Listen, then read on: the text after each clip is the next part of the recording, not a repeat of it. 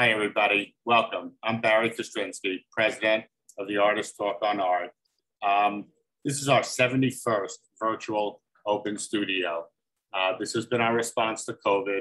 We are finally going to turn a corner and go back to live talk starting October 4th, Monday, and every first of the month, Monday. So monthly talks, but we'll continue this COVID format of online talks weekly and uh, possibly change how many a month. But for now, welcome. We have an interesting presentation today of photographers related to FotoFoto Gallery. First, some things about the ATOA. Uh, we're an organization since 1975 providing talks in New York City in the Lower West Side. Um, artists talking on art uh, with a long history. Um, we are 501c3. All our talks are free. If you'd like to contribute, all our information about our, in our calendar, what talks are to come, and about our history is at atoanyc.org. And information about contributing is there as well. Uh, I want to welcome Pamela Waldroup of FotoFoto Gallery. She's organized and she is an artist in this talk, and she'll co-moderate with me. Uh, these are three photographers, including Andrea Fortunoff and Paul Mele. Um, we should have, uh, we, we like to have engaged dialogue. Certainly we want to listen, but feel free to jump in at any time, share your thoughts. And as well as the ATOA continues, if you have ideas for dialogues on the arts or want to participate, send me information. I can always forward it to the planning committee and we can organize something. So welcome Pamela. And first, thank you all the artists for your time, for sharing and uh, welcome from the ATOA.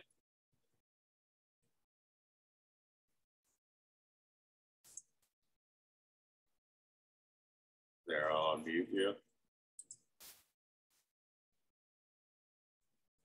Pam, you're muted.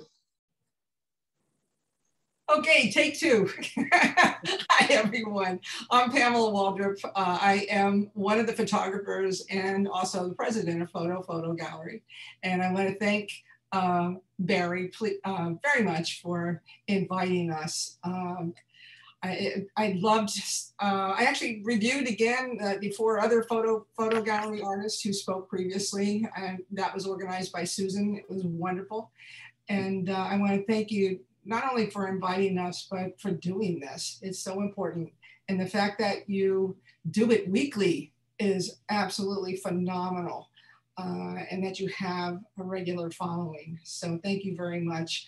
I uh, just want to say a little bit about FotoFoto Gallery. It is a uh, it is a not-for-profit uh, collective that's located in Huntington, New York. Uh, we presently have uh, almost 20 um, uh, photographers in our gallery, and I think one of the things that I, it's very important for me to say is that we were closed for five months, and after five months, we reopened and doubled our size and added seven members. So uh, the the uh, people are hungry, you know, to stay in the arts and to support support the community. And uh, I'm so proud of us and so glad that we can, you know, be a, a part of this bigger thing as well.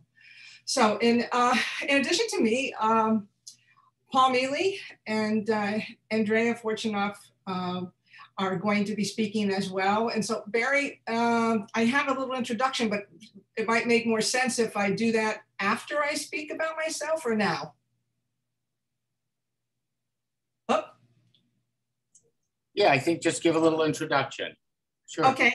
Uh, okay. Um, Paul is, well, let me say this, something that I'm very happy about is that we have many, many members in our, uh, in FotoFoto Gallery who are also members of other galleries. I think that's awesome. I think, you know, that if, if you can be a member of both galleries and also su support the local, um, um, you know, arts organizations, it's wonderful. So Paul Mele, um, who is, uh, has an intriguing perspective on life and uh, has I just had the good fortune of doing a solo show with him about uh, where he um, featured the series he's going to be talking about today.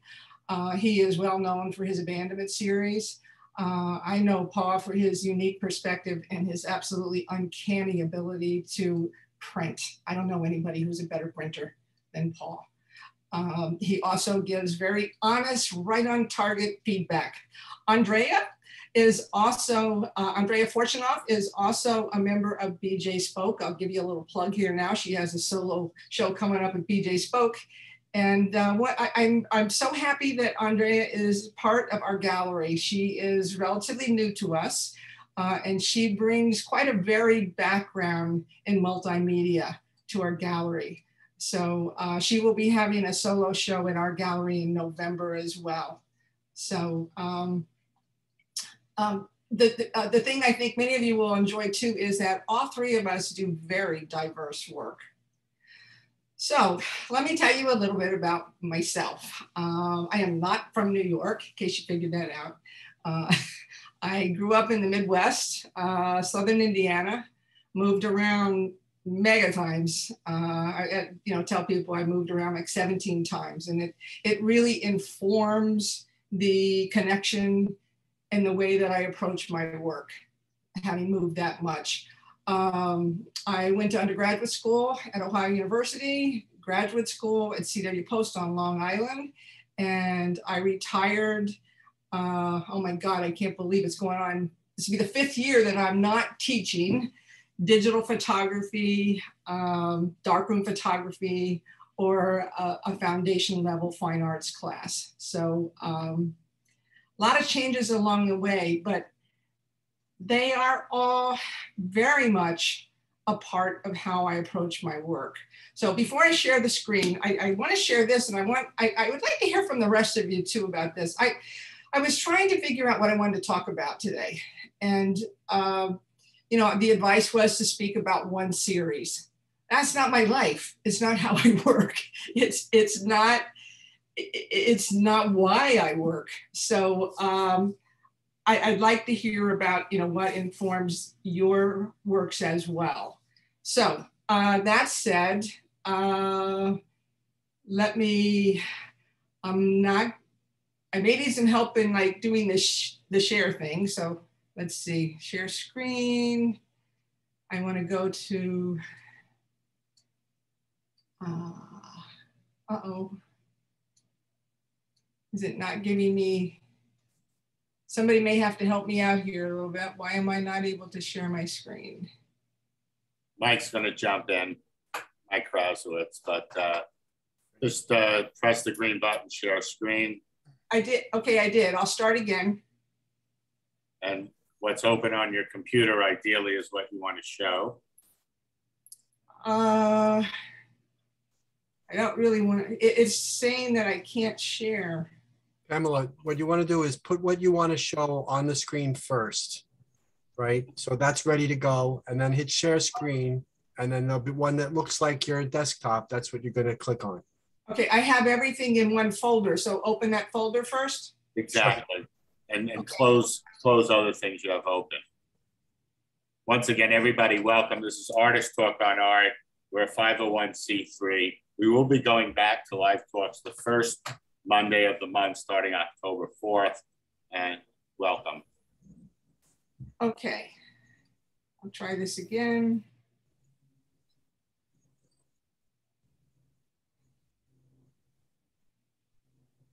Uh, I shared my screen before. I'm not sure why this is not working. Uh, Do you want to send uh, your presentation to Michael Krasowitz? Might you want to put your email in? It's not in, it's individual folders. Right. It, it's not a PowerPoint. Um, uh, shall we go to Andrea and then have you figure it out after?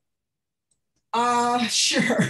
let's do let's do that, and you can, uh, uh, Michael, see if you can get a bunch of folders from from her. Just open them one at a time. Okay. Thank you. Thank you. Emily, uh, let's have a conversation on the chat, okay? Okay. Thanks. So, Andrea, do you, do you feel ready? Uh, I guess so. Um, I didn't hear the thing about just one project, so I'm gonna, you're gonna. Uh, that looks good. Um, okay. Whoops. Let me hold on. I need to.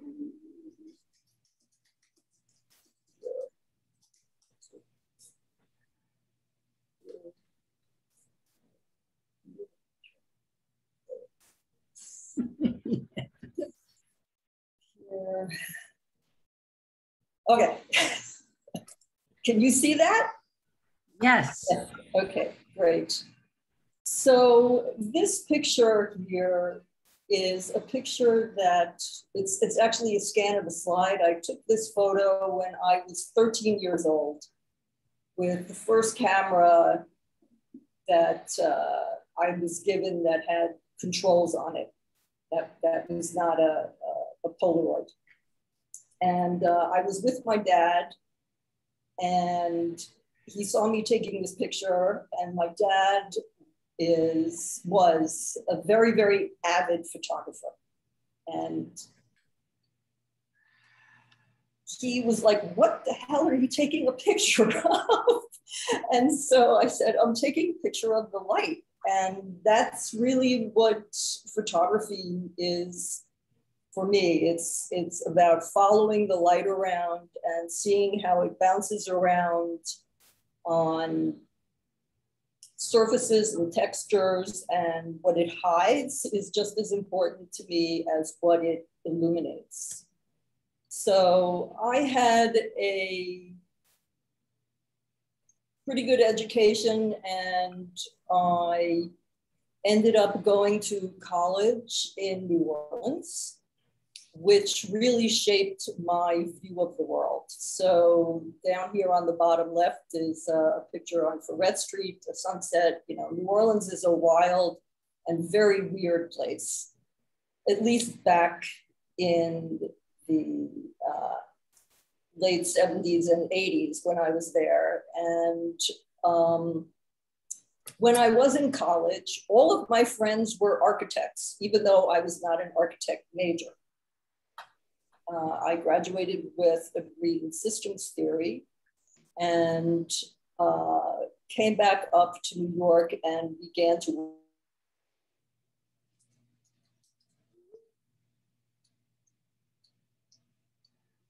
my other great joy in life, aside from photography, the same year that I learned to take pictures, I also began to dance.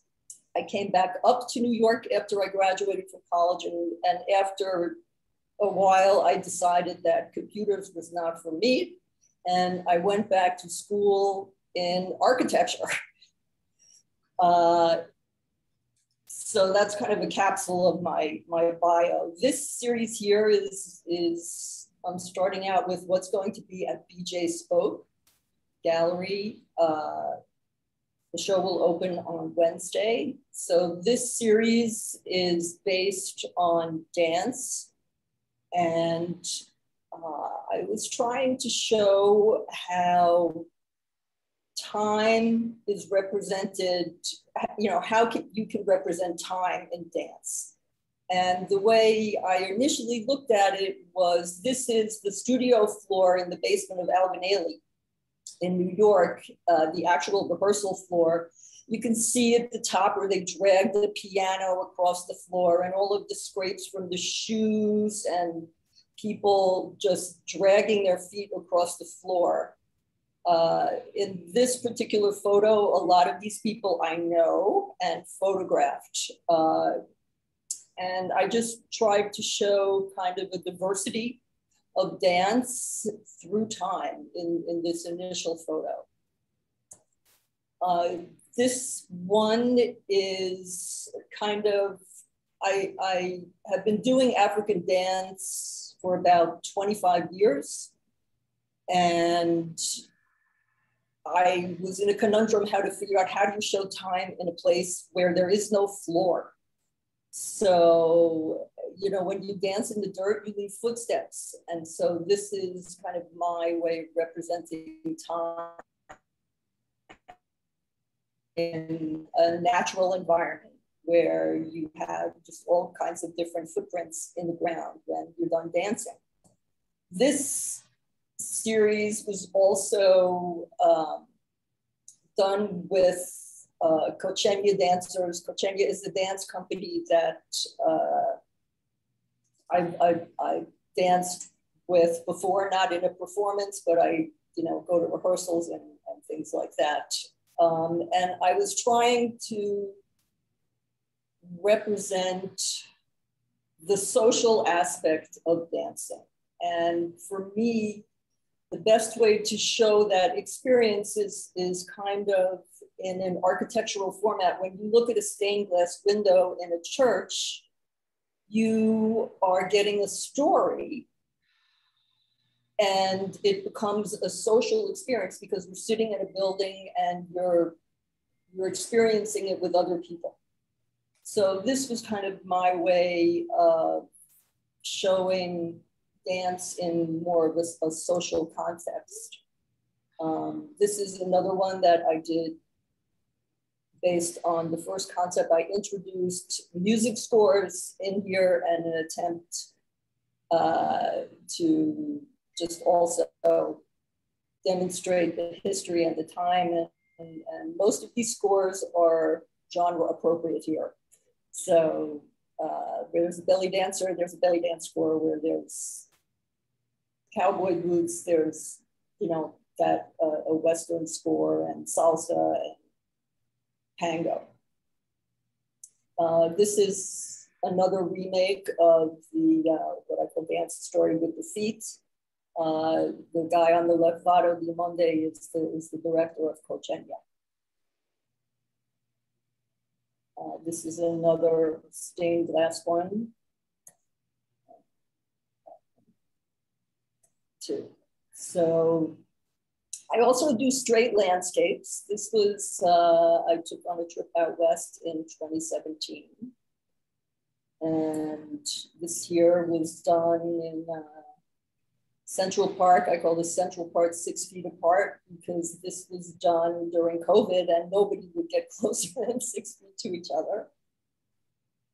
Uh, this is a travel photo that I took up in Sikkim, which is the northernmost province of India, right uh, near the border of, the, of uh, China and uh, Tibet.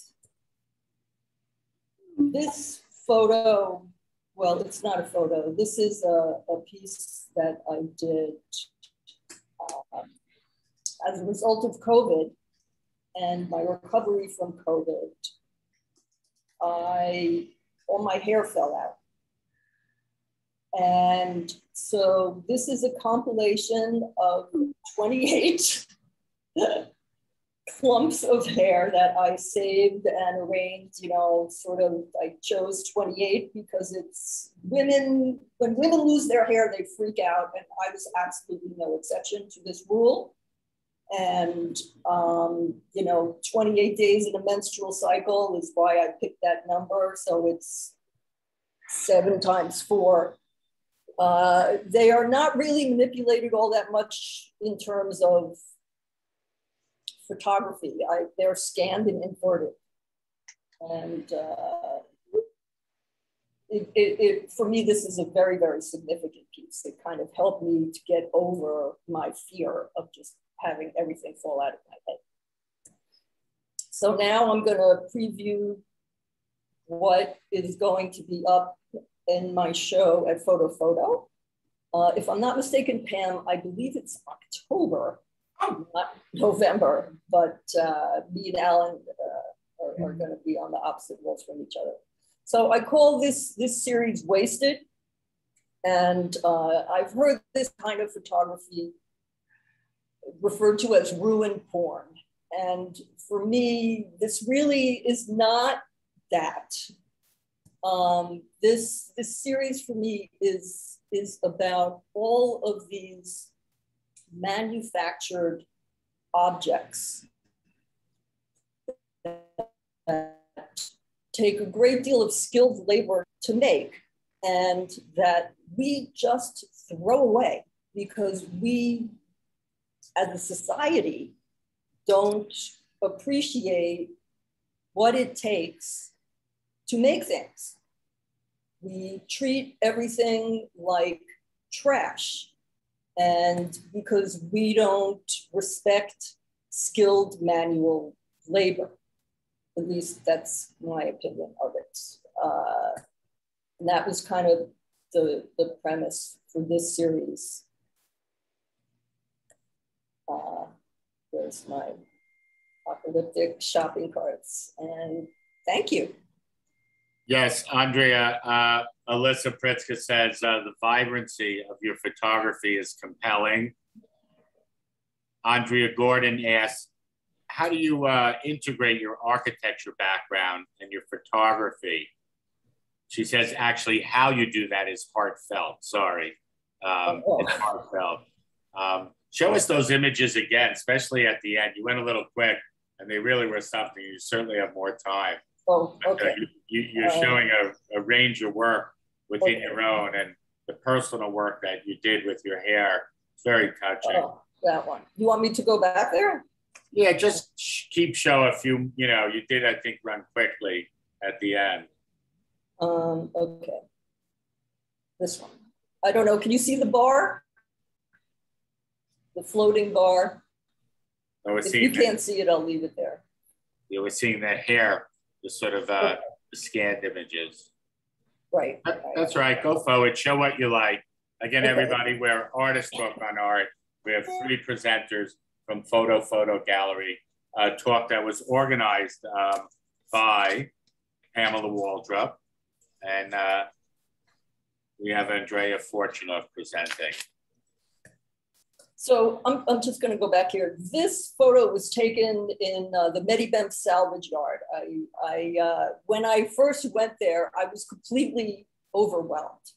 There, there was just, this is like a tiny little hundredth slice of, of everything that was up there. There's, there's boats piled on top of cars, piled on top of trucks, piled on top of tires, there's everything that you can imagine that we throw away washing machines and dryers and refrigerators and and um, air conditioning units the coils from air conditioning units. It, it's just as someone i guess who is an architect and who knows what goes into making this stuff and putting it together it, it just seeing all of it trashed just um, was was I can't say that I like sat down and cried because I, I kind of know that that's what we do as a society.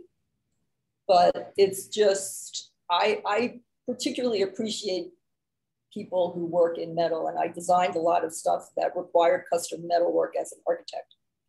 And so when I first started as an architect, there were metal workers on Long Island. Then they got pushed off Long Island and they ended up in Brooklyn. And they got pushed out of Brooklyn and they ended up in the Bronx. And they got pushed out of the Bronx and they went to New Jersey. And then they were pushed out of New Jersey and they ended up in Pennsylvania. Then they got pushed out of Pennsylvania and they ended up in Ohio. I don't know what's happened. That's like a 30 year span of where I would have to go to get custom metal work. So it's just um, we don't appreciate all of the training and skill that goes into making this stuff and, and, and we just prefer cheap to well made. So this is kind of my manifesto against that, I guess.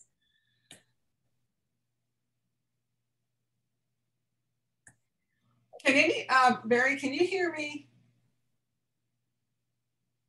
Yes. Yes. I, can hear I, I, I have, for some reason, all my controls just like literally self-control disappeared. So I can't interact. I can't see my mute button. I can't. Pamela, do you want to try and uh, logging off and come back on? I, I think that might be necessary. I also, I'm sorry to interrupt you, Andrea, because I also want to be able to interact with you. Um, you can, you can I, now. I sent you, um, I sent you a file that I, the folder that I was trying to uh, share. it's a big folder, but you might be able to open it in mail drop. And I sent it to Michael. I don't know why I can't. So I will log out and try to go back in. I apologize. No problem, Pamela. We, we it, it's all new for us. And even when we're used to the format, there's always a glitch, uh, but we always get through it. Uh, feel free to continue, Andrea. And uh, certainly the black and white images, all the work's quite beautiful and strong. Um, and the one sort of garbage, met, yeah, but the black and whites have a, a, stronger mood or tone that are just incredible. They're really beautiful. Um, and I've been doing collage work, and when I see your garbage dump, it looks like collage materials that are absurd in a collage you might do, but there it is in reality. Um, and I did have a metalworking factory. I know with the stamping machines and polishing and uh, soldering and cleaning and design and working with motors and it's quite complicated to get these things and they are you know treated like trash. It's a shame. Yeah, definitely but very beautiful and you see the architectural influence as well. Sort of organized disorder. Yes yes. Organized disorder is a very good way Any other questions, comments? Please, I'd love to hear them. Constance says, I love the image of all the discarded images, all the discarded objects, I mean.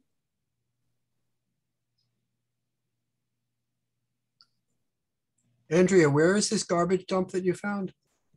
It's it's actually called the salvage yard there. It's in Meddybemps, Maine the town is actually called Betty Meddybemps. Do you have access to it any time of the day or is it? Um, no, when you go up there, you have to call the, the two managers and get permission to go in because they are, so, so when I first went in, um, I, they only let me go like 100 yards into the, the dump the first year that I went up there. And I did manage to get some nice pictures and I gave that to them. And then the second year I went back, they said, okay, because they have insurance and they were, it's very easy to misstep and um, cut yourself. There, there's no paths. And so you are literally climbing among heaps of garbage and um, or salvage and a lot of it is sharp and corroded. And they, not to mention, there's tons and tons and tons of killer mosquitoes from Maine, and uh, they, they, you have to go in with mosquito-proof clothing and you know DEET all over you, otherwise you're just attacked. Andrea, but uh, uh, Andrea, Alyssa Pritzker asked, uh, what what is your most current interest um, to photograph? And as well, uh, from the New York Artist Circle, uh, they love your photography and ask what cameras, what cameras, and I would add what lenses are you using when you're shooting? Um, I have a Sony RX10 and uh, that's a fixed lens. It, it I mean, it, it's a telephoto, it's a 24 to 600 but um, it's it doesn't come off the camera. It's kind of a travel photography camera. Um, and my current interest is uh, still, you know, I'm very, very interested in photographing dancers, which is a very new thing for me. Photographing people. I've avoided photographing people my entire life. So Um, and I, I still enjoy I, to photograph. When I, when I photograph architecture, I really like to photograph the fringes of neighborhoods where you have architecture meeting nature in a very unruly manner, we'll put it that way, where there's a contest between the weeds and the lot, or what's built on the lot. We know who wins that contest in the long term. Um, I, will read a comment or two more and then we'll move on to Paul. Uh, Kathleen Anderson asked, can you talk about your relationship to the African dance group? Oh, okay. Um, I've been dancing with Kotchegna for um, eight years, I would say. And um, like I said, I don't perform with them anymore. There was a very short time that I performed at Ailey with them in the extension, okay, in, in the Ailey extension with them. Uh, and it's it's really a multi it's a multi-ethnic dance corps and it the style of dance is Cote d'Ivoire West West African but uh, Vado is fluent in I don't know 20 to 30 dance styles that are prevalent among, I believe, the 60 different languages and tribes that inhabit the Ivory Coast. He, wa- he was a member of the uh, Cote d'Ivoire Ballet. He stands for the president of the Ivory Coast. And he came to the US in 1995 or 96. And uh, I actually danced first with his cousin, uh, Mamadou Dahoué at the time. And uh, unfortunately, Mamadou died about 10 years ago. And then I began to dance with Vado.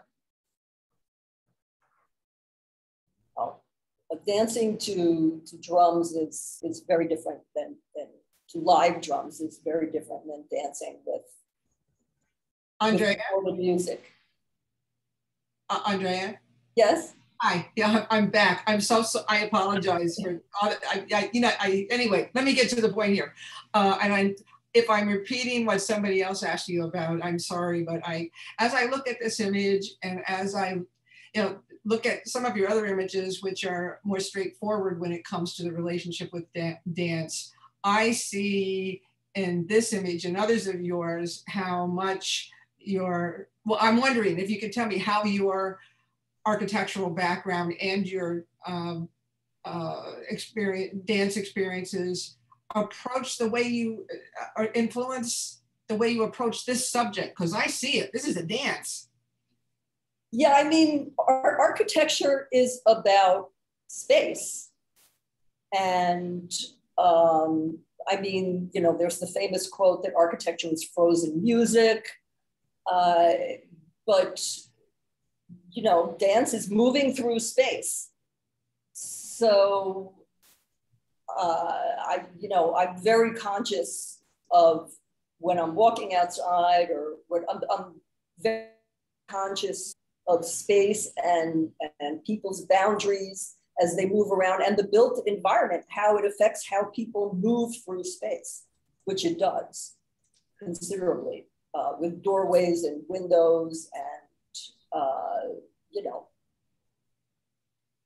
buildings direct where you go and cannot go in the built environment. And, uh, you know, you choose an environment like your house because you feel comfortable in that space. Dance is, for me, more about moving to music than about moving in the particular space. But up until recently haven't really been able to, or I haven't focused on conveying to other people how I feel about that moving to music. Just, just to finish my thought here, um, in this particular piece, obviously you didn't arrange this, but you cropped it to arrange the rhythm and the dance through the space.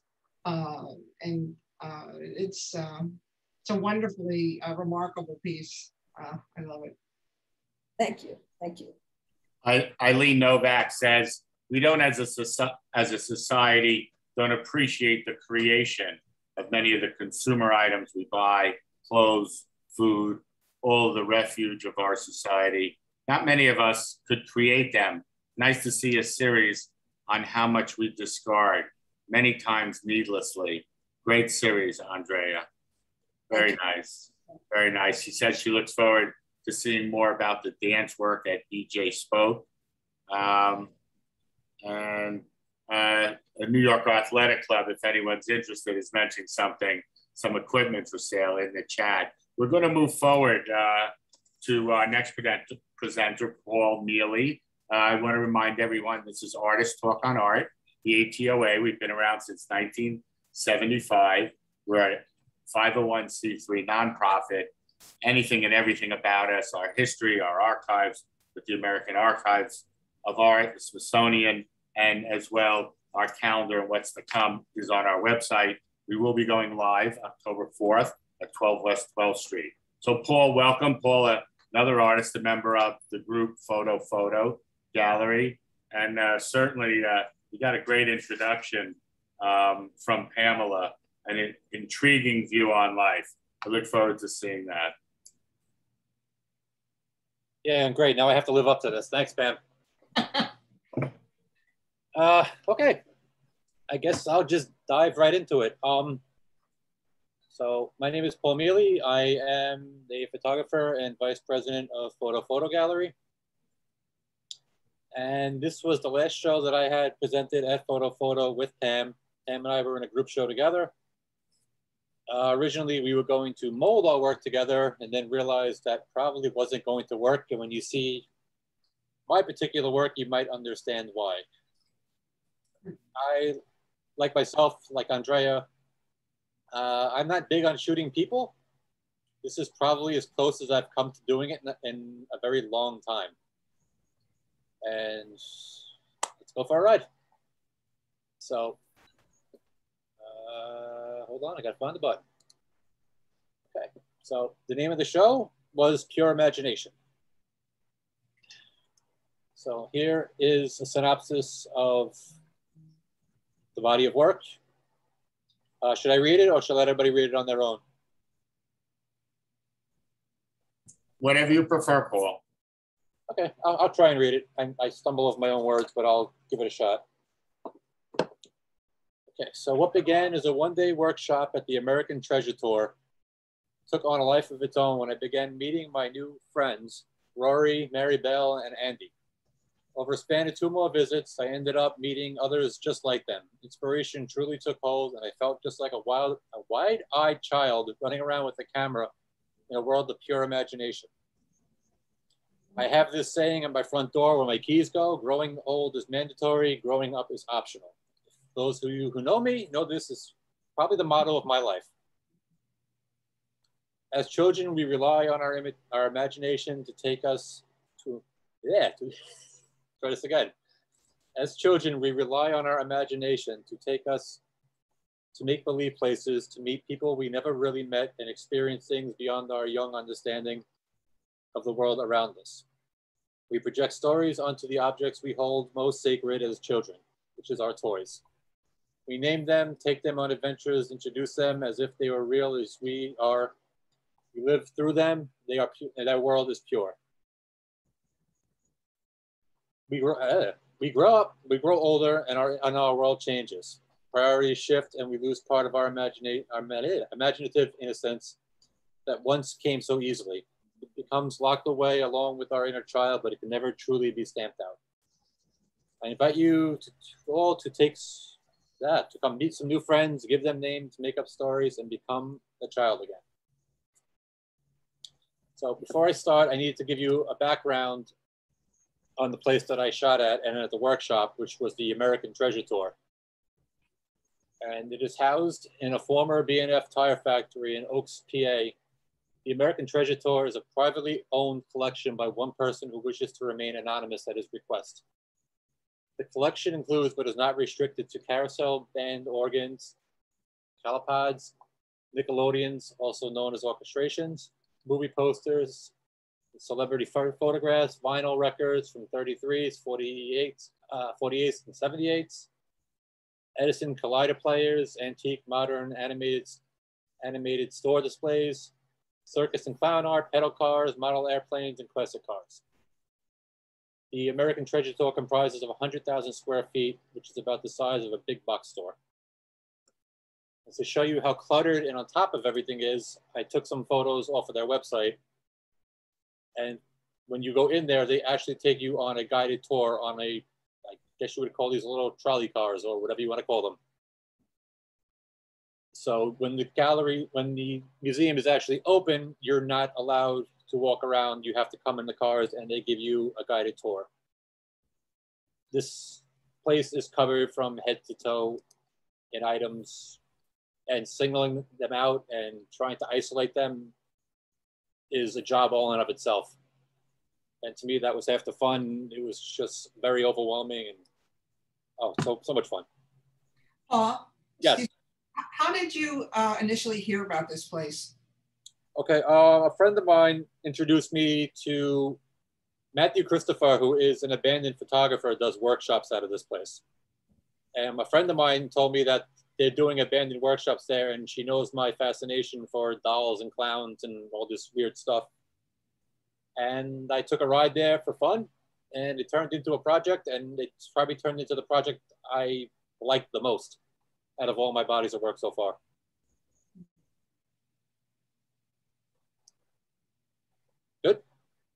Thanks. Oh, okay. So I will introduce you now to the people that I have found amongst all the uh, craziness in there. So this first one, I named him Clarence.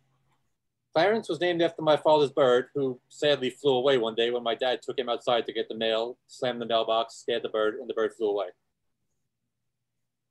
My titles and influences usually come from song titles, but from this, it came from a lot of different other places that I'll explain as I'm going. Uh, arrow. Next. This is Jack and Spencer. So for Jack, I wanted a very, no offense to anybody named Jack, generic name, a very simple name for him. And the name Jack, for me, seemed perfect. And the little dog on the bottom left is a tribute to my cat Spencer, who I adopted six months ago and now runs the house. And I love the name, and I figured I wanted to give him a little homage. This is Mary Bell. I wanted an old timey name for Mary Bell because she has an old timey feel for me.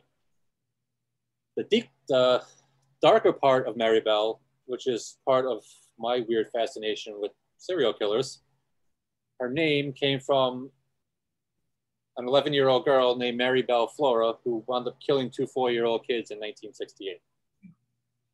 My cartoonish slash sadistic weird personality weaves in and out of my work all the time. This is Andy. Andy was named after the late comedian Andy Kaufman.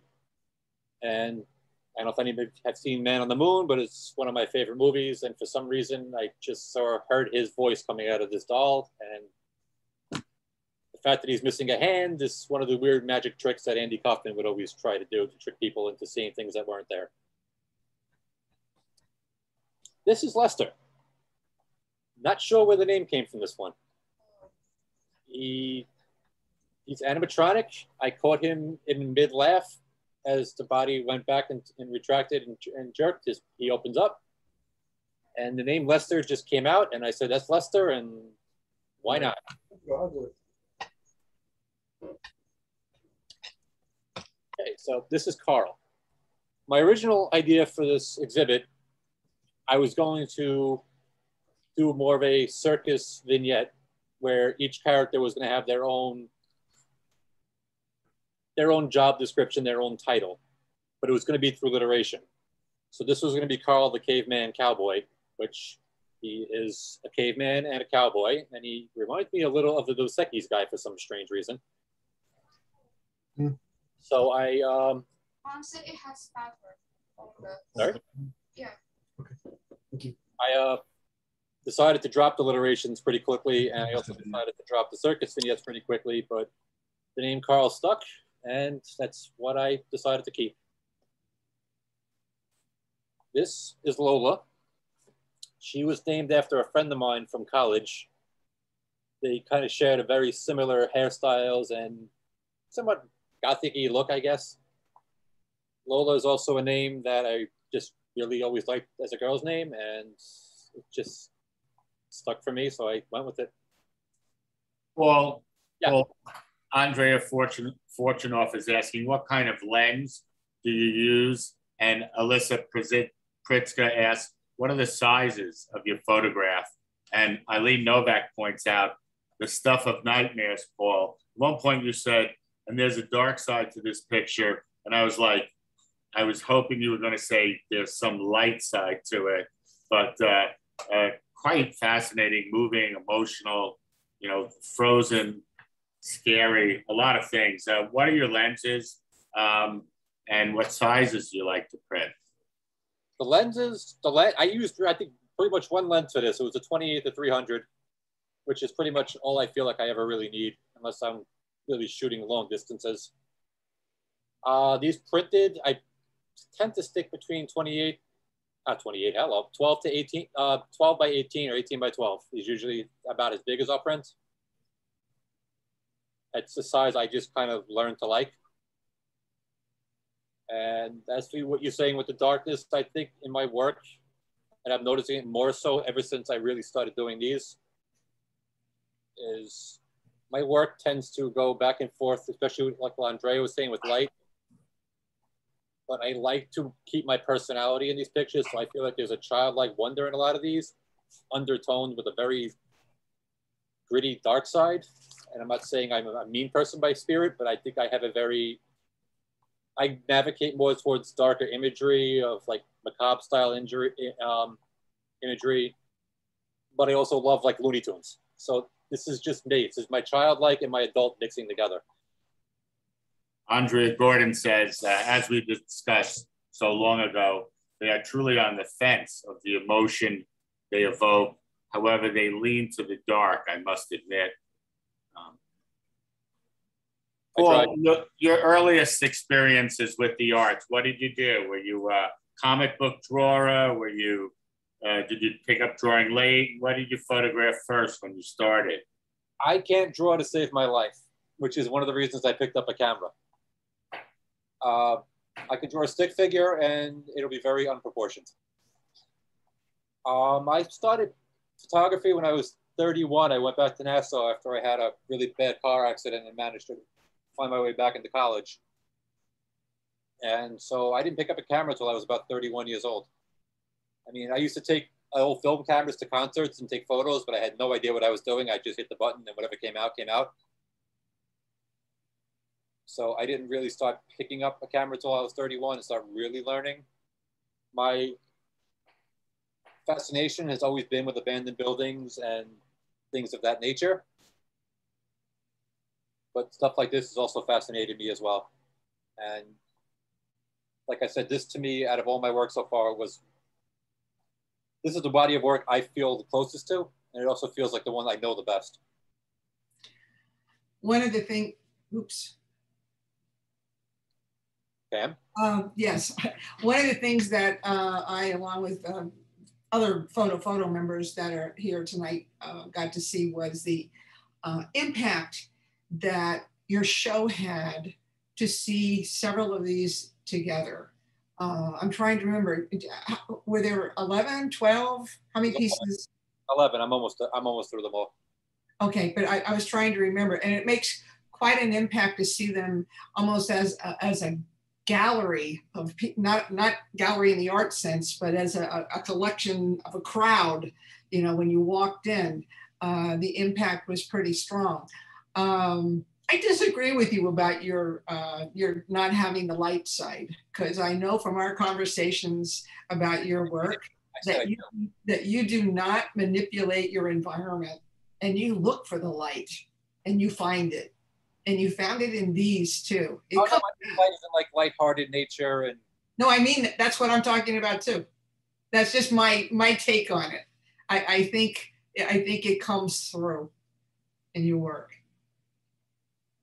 Oh, I always even when I edit my my abandoned photos, I feel like there's always a sense of hope behind them, even in the dreariness. But I do that on purpose. I like the contrast. Yeah. Okay, so that was we good. That was Lola. Okay, this is Phil. I was never quite sure if Phil was a musician or a mortician. Either way, he reminded me of the producer Phil Spector. I think it has something to do with hair. And it also found it ironic that there just happens to be another killer mixed in with all this work since he was convicted of murder. This is Edna. She was one of the first ones that I think I believe I finished. And for publicity purposes, she needed a name. And this was before I really knew where I was going with the work and how I was going to name them. Pam told me we just need something to put a title for it. So I, she felt like an aunt to me. And I needed the aunt something. So I pictured her as somebody sitting in a rocking chair and sewing and telling the stories. And for some reason, the word Edna popped into my head, which was the cranky woman from the vacation movie with Chevy Chase. And I always liked the flow of Aunt Edna. I eventually dropped the Aunt part and just kept the Edna part. So this is Maybelline. Another, my father again coming into play because my father is a big Chuck Berry fan. And as I grew up around this music, it always stuck with me. I, I'm familiar with all of it and all those different artists from that time period always had songs about girls and the word Maybelline for some reason just stuck out. And she needed a name and Maybelline was it. I also like the fact that this one was placed right next to Rory and it looked like she's actually reaching for his cupcake who looks like he does not want to give it up. Uh, Rory, his name came from the fact that I grew up on The Simpsons, which most people my age have. And in an episode of The Simpsons, Krusty the Clown adopts the alter ego of Rory B. Bellows when trying to avoid the IRS. And I like the name Rory, and that was the name I decided to give him. And to me, these all worked together. I called them their friends. I felt like they were a group of people that, or kids, or whatever you want to call them, that all worked together. And I just had a blast doing this. This was like the most fun I think I've ever had shooting.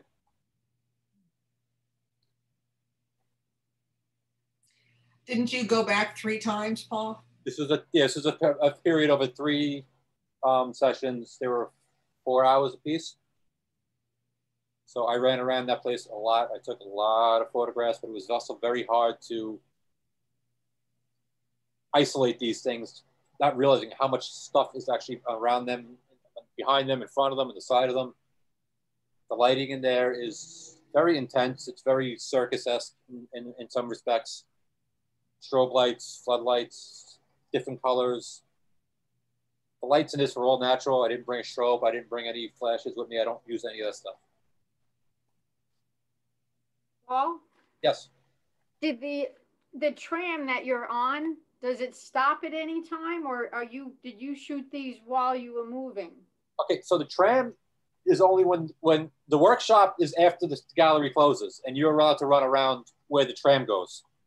But this is only during the workshops. When you pay for the workshop, they let you do that. If you go there as just to see the just to see the museum, then you have to stay on the tram. So when I got there the first time, I got there early, so I took a ride on the tram because I wanted to get a familiar familiarize myself with the place. But when they finally closed and they let us run around, they took all the, the ropes down. I knew exactly where I was going. Plus, I also got a history lesson from the lady who was running the tram.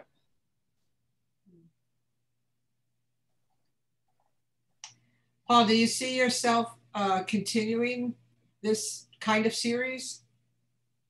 I would love to do more stuff like this if I could find them. I think I kind of got burnt out on that place, so I think I'm done with that. But um, if I could find more stuff like this, I would do it in a heartbeat. If anybody, um, if anybody hasn't seen Paul's work on Instagram, I suggest that you take a look at it. His abandonment series. I have it on here, but I don't know if I have enough time to go through Right. it. I just want to bring this up because I've noticed that recently in the images that you just shot on your most recent photo trip, there are people in them. Previously, your abandonment series did not include any people. And that seems to be a big change. This body of work, I think, and a specific shoot that I went on with a bunch of friends, I can signal those two trips out as a turning point in what I'm doing. Mm. I've even had this discussion with one of my friends.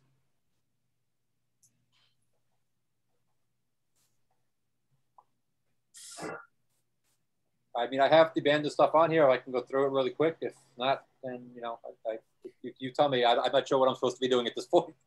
No, you've got uh, some more time. I've got you set to go about another four or five minutes. So sure, share some more. Sure. I'll, I will not go through with the actual project, um, the, the whole meaning behind it, but I can just go through the pictures really quick if that's okay.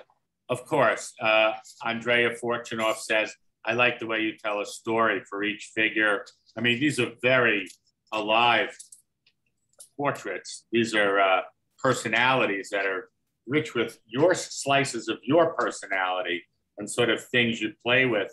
Um, if not they're you, you're you're sort of engaging them. These are not disconnected from your lens and you behind it at all. Um, but very strong work. You, uh, you know, I, I, I'm, I often don't recommend artists go larger, and I like 12 by 18 by 16 that size. But you know, if you go up in scale, all of a sudden those figures dwarf the viewer, and it becomes a different relationship.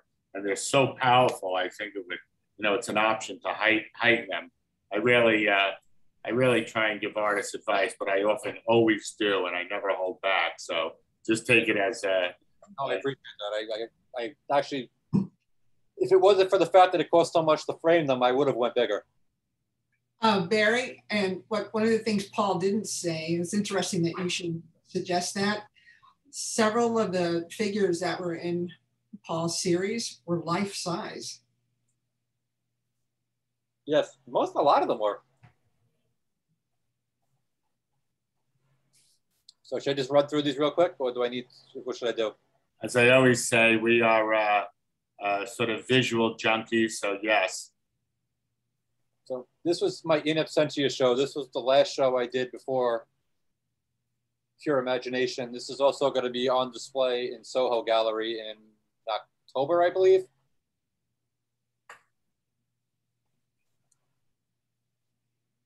So this is all shot in a couple of different places between New York, Connecticut, and stuff like that. Paul, was this the show that you chose to um, print uh, and not have glass on top of it so that yes. you the texture? That's okay. That's what I thought. I actually like the fact that the glass wasn't intruding on these, and I just felt like they worked better without it. I also like the fact that they didn't look plastical and they didn't have the mats around them. I just liked the way the work just stuck out and stayed in there. I will say, uh, I almost laughed when in the beginning you said, uh, uh, Pamela, you know, these are just three random artists. Of course, whenever you hear that, you know you're going to get artists that have links that you just didn't know and just compare how you work with detritus and random decaying form to what we saw earlier by uh, Andrea Fortunoff. And you see how yes, you're very different, but uh, you're finding appeal in the sort of uh, micro destruction you see of often beautiful macro products.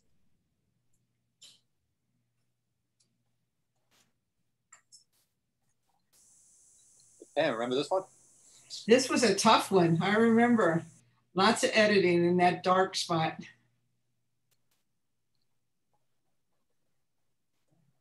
That's it. That was excellent. Thank you. Let me, I'll stop screen sharing. Oh yeah, oh, I gotta do that. Uh, all right, now I got Pam's work I gotta dig out. Give me a second. Okay. Firstly, let's just thank, uh, uh, sorry, thank Paul. I forgot, we always applaud at the ATOA. And so extra applause as well for Andrea Fortunoff. I mean, this is about, uh, you know, we like to be positive. Think of it as opposite the college art critique. We like to reinforce, and we all get something. If we listen, you know, we're all artists, or many of us are, and you know, we know some things. But when you hear someone else, they know some things too, and it sort of makes you richer. Um, so we're going to move over now to our organizer, to Pamela Waldroup. We had some problems earlier, but as always, we sort of work together as a hive, as a group, and Paula will be, uh, Paul Mele, who just presented, will be sharing. Again, we're ATOA We're a 501c3. We're Artists Talk on Art. We'll be going to live talk starting October 4th and first of the month, Mondays. We're always Mondays, ATOA talks, and anything and everything ATOA on our web website, atoanyc.org. So, Paul, I guess just open away uh, files and. Um, thank you very, very much. I appreciate it. And thank you guys for being so patient. I, uh, I run Zoom meetings every month and all the time, boy, it didn't work today. So, Paul, uh, I, I would like to start with uh, the drawings, please. There's just a few. Uh, and uh, just, okay, You see them? no. Is it working or no? Well, just open up one. What can you see? Is Yeah, on I it? see, the- I see the folder, yes, but I don't, but they're not open. Oh. So Oh, if you just The click on folders, one not and the hit the space bar, Paul, Yes. just click on one at a time and hit the space bar. Okay, hold on. Hi. Start with the bottom drawing. Okay, and if you hit the, okay, can you zoom out or not? Or if you double click on it, will it open? Oh, okay, yes. There you are. Okay, so why am I showing you a drawing? This is supposed to be about photography. Well, um, as I said, um, I got a Bachelor of Fine Arts at Ohio University, and both my undergraduate and my graduate degrees are in uh, drawing and printmaking. And even though I am, and I have been for many, many years, uh, primarily a photographer and printmaker, my drawings uh, experience uh, it's still with me. Um, one of the ways that it shows itself is when I'm editing my photos. Um, when I'm editing uh, in Photoshop extensively, I use both hands almost as if I am working with ink or uh, charcoal and uh, very conscious of the contrast between light and dark. And Paul, you could show the next one up. Uh, I worked uh, for many, many years with life drawings. These are about uh, 24 by 36 inches. Um, uh, quick gestural drawings. Again, these are about the same size, uh, but always I've, I've been about um, trying to um, notice um, to hyper focus on what I think see as the essence of the details to represent the form, whether it's architectural or organic, as you'll see in some of my later work. Okay, uh, uh. Um, this is this is actually, pardon me. Sorry, hit the wrong button. That's okay. Thank you. This is actually um, a drawing of someone who was uh, an instructor and the mentor, Stan uh, Brodsky. And um, again, um, this was what grabbed my attention. Uh, early on, uh, probably at the age of 16, when I went away to a workshop for two weeks at Ohio University, it was my first exposure to working with uh, the nude figure and with working with contour line drawing, which I imagine many of you are um, uh, familiar with. And that was to really concentrate, hone in on uh, the detail. Uh, the last one, Paul? The, the drawings that were up before were actually pretty old drawings, uh, probably from uh, maybe 20 years ago. This was this past year. I started drawing again. Uh, and I, when I was teaching, I taught at a high school for 33 years, uh, both darkroom and digital photography, but I also taught a foundation level uh, studio class. And I didn't realize how much I missed drawing until I retired. I was drawing with my classes all the time. And so once that was gone, I, I went back to drawing workshops.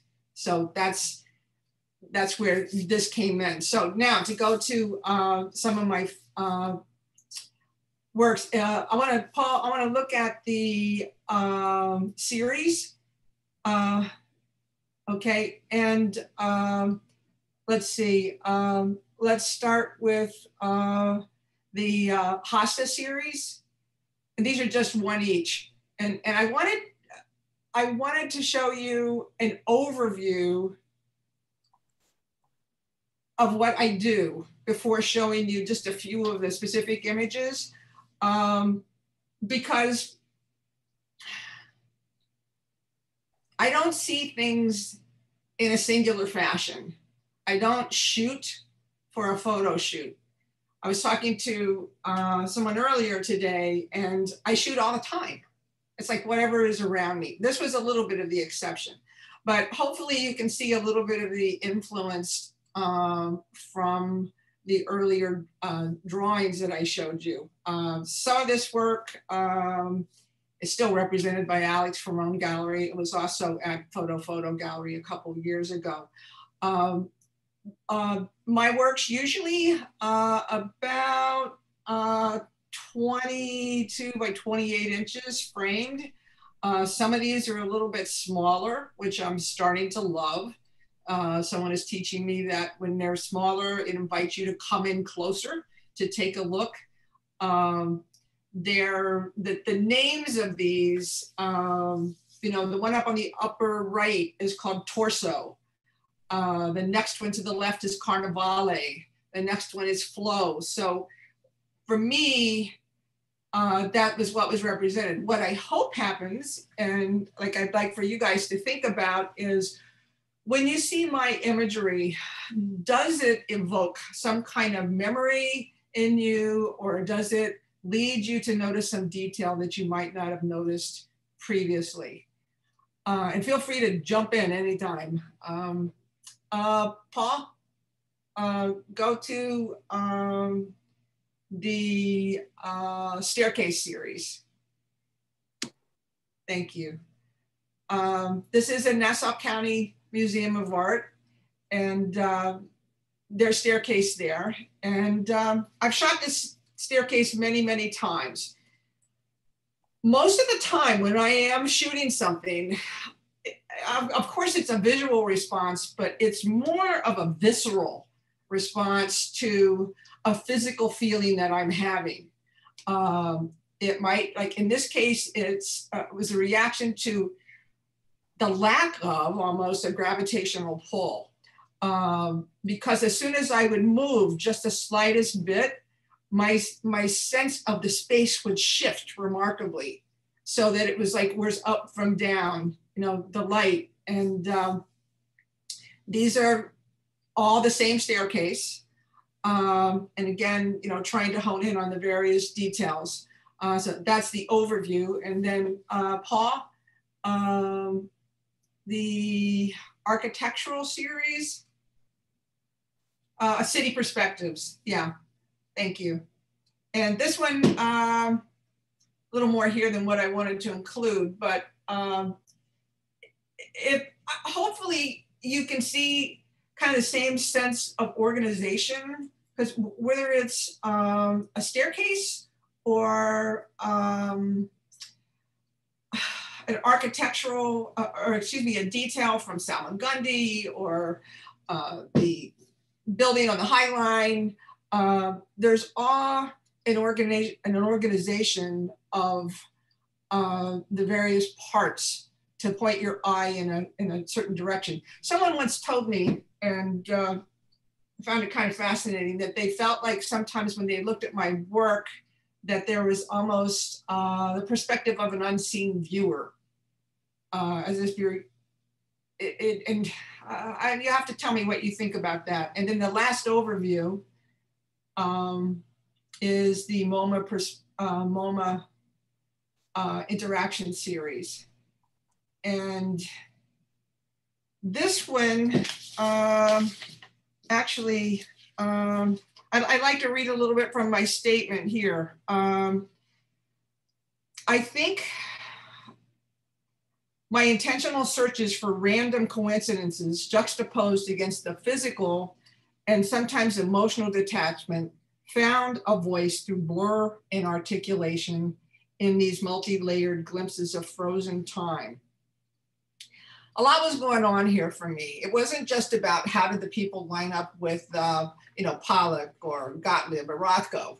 It, it was uh, the interaction between the painting, the people in the middle, and me, and uh, the the disconnect, the connect, and uh, just um, it was fascinating again to be part of it and to record it at the same time. Those people who know me know that I shoot all the time. I shoot- Pamela, Pamela, can you reread what you just read to us at the beginning? The intentional search for uh, oh, sure. randomness. Just read it a little slower. That is a very packed sentence. Sure. Um, I think my intentional searches for random coincidences juxtaposed against physical and sometimes emotional detachment found a voice here through blur and articulation in these multi-layered glimpses of frozen time. There's a little more. The placement, the close or distant proximity, the lighting, the shots I choose to keep and the ones I throw away all narrate a search to find order in chaos through intense observation of the accidental commonalities that occur around us every day and every moment. I think that happens with me uh, no matter what I'm looking at. I think it was Leibovitz who said, you know, you don't turn it off. It, it, you're a photographer. I don't remember the exact quote, but something about you're constantly composing all the time. Um, so uh, the last, uh, or see, was that what the last one, Paul? Did we look at all four? Yep. Yeah. Yes. Okay. So um, if we go to um, the uh, hosta, okay, and just start at the top, and we'll just run down through these. Okay, this one is called Carnivale. Uh, it's it, originally it was printed um, about 20 by 20, excuse me, uh, 16 by 20, uh, but it's since uh, been printed much smaller. Um, I spent some time in a printmaking workshop in Florence many years ago, and I think the mask that I saw there left a big impression on me. So that's the title of this. Um, and I love how this feels like a drawing as well. Uh, next one, Paul.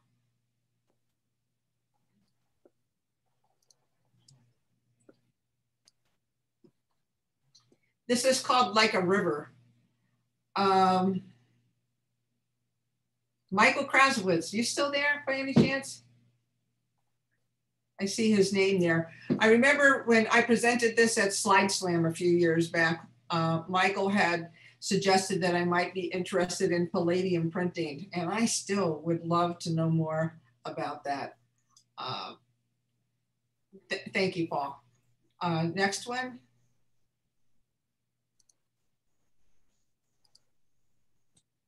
Um, and this one is called River.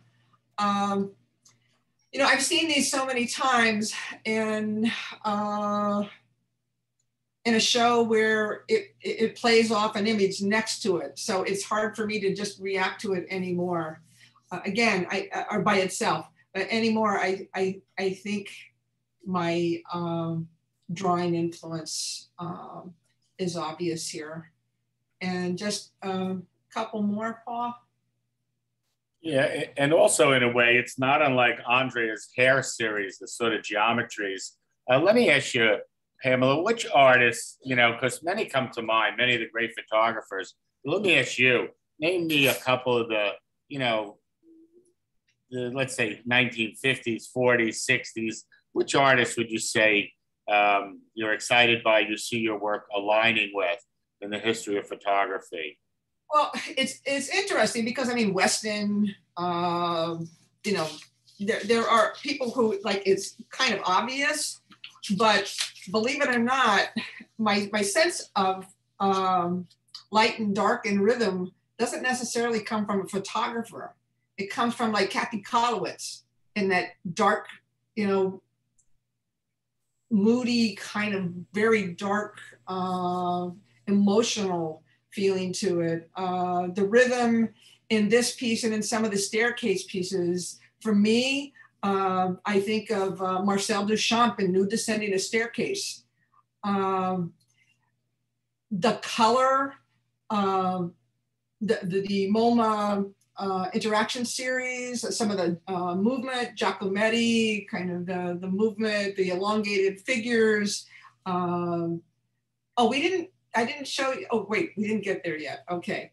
Uh, some of them are actually um, uh, reminiscent of Francis Bacon also. I'll jump to those in a little bit too. Um, definitely, definitely. Thank you, Pamela. Okay. Thank you. Um, are you a fan of Georgia O'Keeffe? I am. I, I'm a fan. Let me let me uh, qualify that. I'm a fan of her compositions.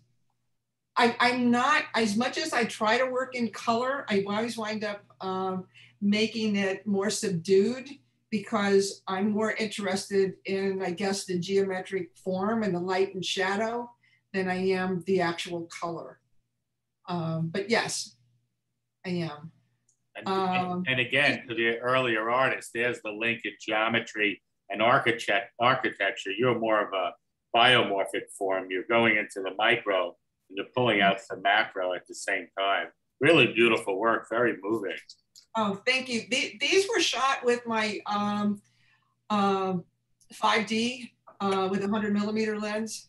Uh, the some of the other work was shot. The MoMA series you'll see was actually uh, shot with a little tiny sure shot point and shoot that had an aperture or a shutter priority mode that allowed me to like practically hide the camera and be invisible while I was shooting. Uh, Paul, just keep going. I don't know if there's any more in this series or not. Uh, let's see. Um, Andrea Fortunoff says they remind her of sand dunes. mhm. Eileen Novak, Imogen Cunningham for sure. Um, Eileen Novak also likes the light, loves the light on this one. Wendy Friedman says the MoMA ones are my favorite. Can, Paul, can you open up the MoMA interactions? Thank you. Thank you for the comments. Okay, I see a little Giacometti here. Um, but again, uh,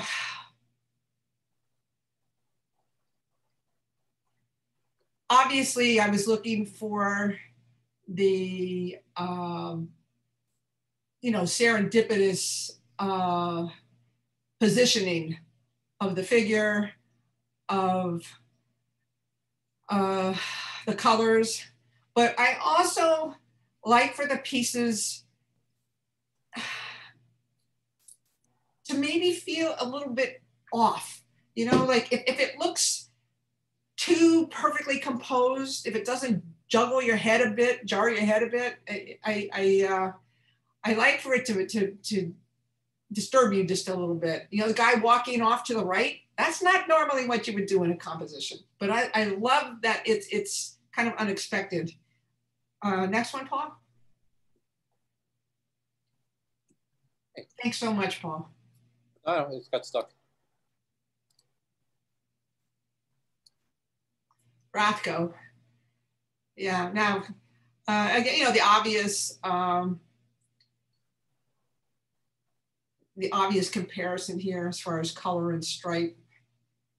Uh, it's interesting to see these all in a show where the um, horizon line, so to speak, of the, where the floor meets the wall were lined up to see them kind of bounce across the wall. You can keep going.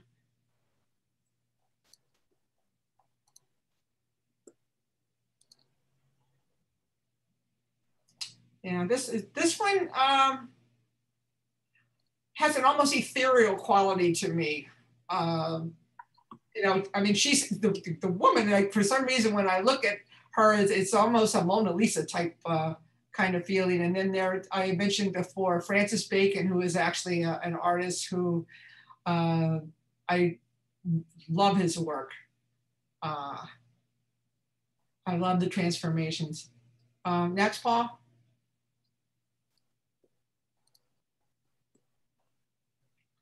Oh, this is uh, this is actually FotoFoto gallery.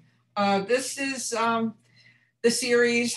This was uh, this past year. Um, the piece that's on the end there, which I think is next, the diptych, is uh, about 40 inches wide. And uh, I, I liked the, um, well, you'll see it in the next piece. We'll go on to the next piece.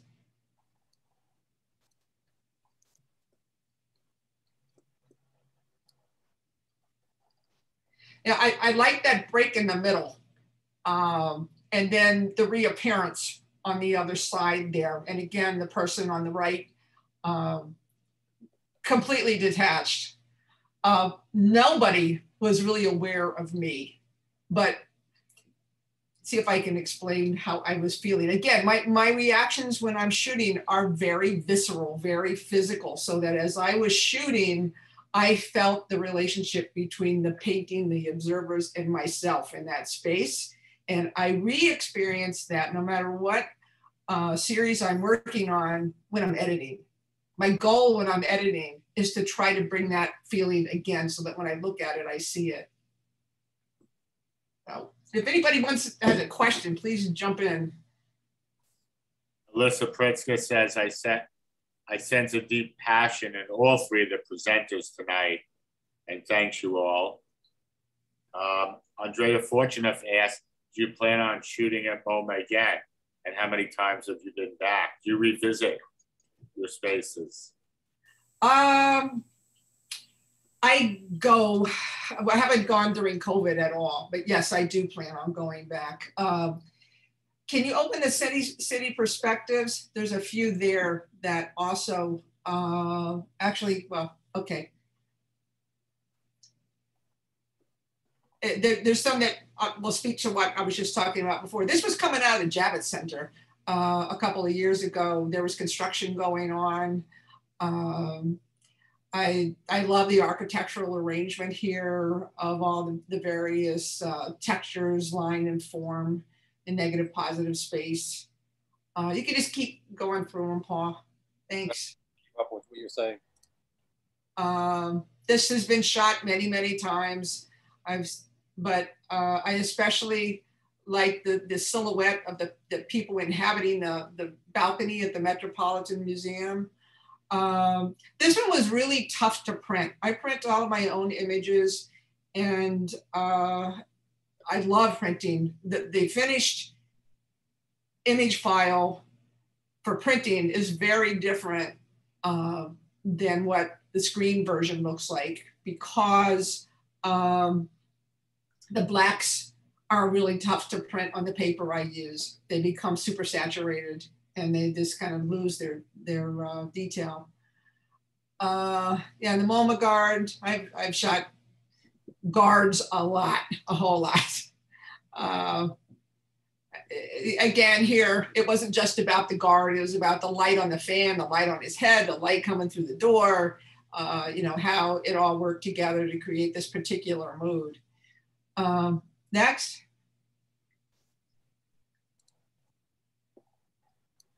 Anyone know what this is? Any, the New York City Center. Just keep going.